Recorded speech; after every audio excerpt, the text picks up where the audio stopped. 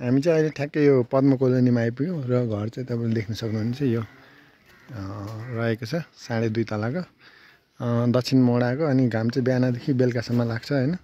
बाटो यही चौध फिटको छ त्यही चौध पन्ध्र फिटको छ अब हेर्नु कामहरू। अनि यहाँ अझै अलिअलि मर्मत गर्ने कामहरू भइरहेको छ उहाँहरूले चाहिँ काम गरिरहनु भएको छ होइन।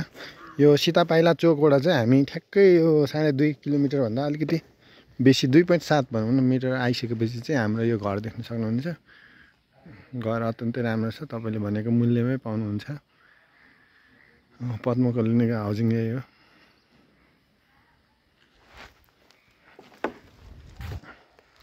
जानु त। खिच्दै जाने कि?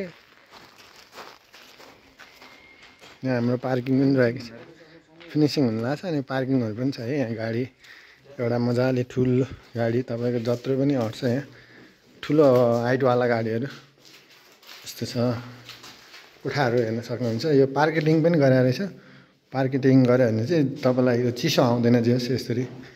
एउटा किचन है हल जस्तो पनि छ। चट्ट यहाँ बसेर किचन किचन प्लस हल भयो अनि पछाडिको हाम्रो यो बाघहरू यस्तो छ। यहाँ चाहिँ हाम्रो जस लुगाहरू धुने अब मिल्ने यहाँ धाराहरू हालेर होइन। बनाउनु मिल्छ। पानीको चाहिँ यहाँ चिन्ता छैन होइन? पानीको चाहिँ एकदम राम्रो व्यवस्था छ हेर्न सक्नुहुन्छ। यो चाहिँ हाम्रो यो हाउजिङको घरहरू भयो। यो पद्म कोलोनी सीता पाइलामा छ तपाईँहरूलाई थाहा होला यो। रुम भइहाल्यो। रुम यस्तै किचन एकदम राम्रो डिजाइन गरेर बनाइदिनु भएको छ। अब हामी यहाँ मुनि चाहिँ हाम्रो दुइटा मात्रै रहेको छैन। दुइटा पनि एउटा कमन टोइलेट छ फिनिसिङ हुँदैछ अनि भर्याङ भर्याङ पनि अब हुँदैछ। होइन फिनिस फिनिसिङ पुरा भएको छैन जे फिनिसिङ गरेर दिनुहुन्छ उहाँले तपाईँलाई। हुँदैछ फिनिसिङ अनि यहाँ चाहिँ चाडा रुम रहेछ। माथि चाहिँ चाडा रुम छ। बाह्र बाई पन्ध्रको जस्तो रुम रुम भइहाल्यो टोइलेट भयो टोइलेट भयो होइन रुमहरू ठुलो ठुलो रुम छ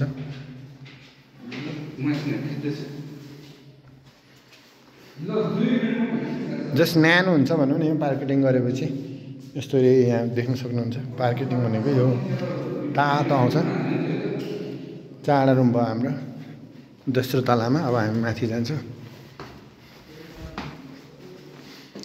माथि पनि सेम डिजाइन दिएछ तर दुइटा मात्रै रुम निकालेको छ माथि चाहिँ। रुम यस्तो भइहाल्यो तलको जस्तो। अलि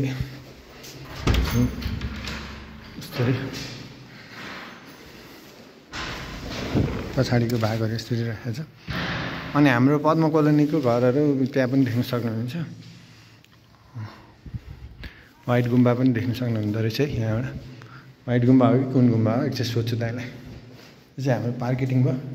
यहाँ चाहिँ तपाईँले सानो मन्दिर जस्तो है बनाउनु मिल्छ मन्दिरहरू अथवा केही सामान स्टोर जस्तो राख्न सक्नुहुन्छ।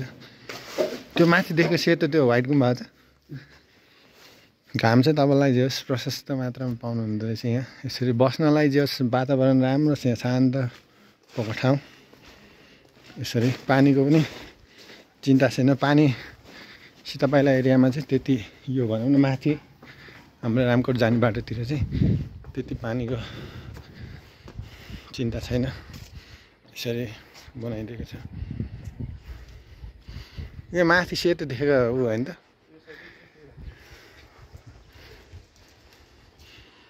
उयो वाइट गुम्बा हो त यो माथि देखेको? राम्रो रहेछ यहाँ जस। यो चाहिँ हाम्रो पद्म कोलोनीको घरहरू है त। यसरी बनाएर राखेको छ।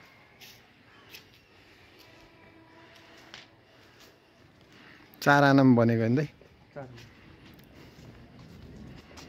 यो रामकोट जाने बाटो चाहिँ है रामकोट र रामकोट जीवनपुरहरू यो धादिङ जाने बाटोहरू। यो चाहिँ पद्म कोलोनी थर्ड फेस यो चाहिँ अहिले हामी बसेको चाहिँ यो चाहिँ कुन चाहिँ पा टू। ए नयाँ। बाटो नि राम्रो बनाएर रहेछ हेर्नु सक्नुहुन्छ। बाटोहरू यस्तो छ राम्रो खालको। यत्रो यत्रो ठुल्ठुलो गाडीहरू पनि अट्छ है पार्किङ गर्नु चाहिँ तपाईँको घरमा